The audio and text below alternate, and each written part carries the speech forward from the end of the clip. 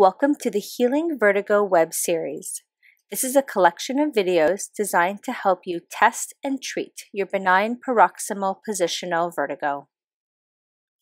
This video will show you how to complete the right Dix-Hallpike test. This test is looking for crystals in the right back canal of your ear. You will need your bed at home and a pillow. Start by sitting in the middle of your bed with a pillow behind your back.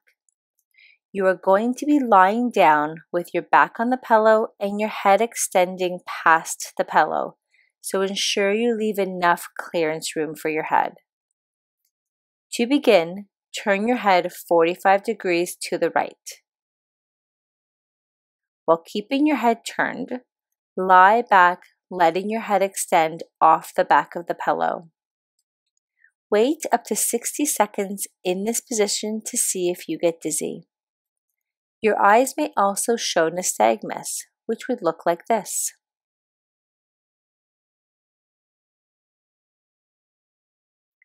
Once your dizziness has stopped, you may slowly sit back up. Hi, this is Cheryl Wiley, and I'm the vestibular physiotherapist behind the web series Healing Vertigo. If you found this video useful, consider checking out the Healing Vertigo app.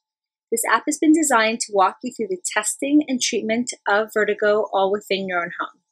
You'll be given a clinical impression and then directed towards the exact maneuver that you need based off of the test results. So check it out.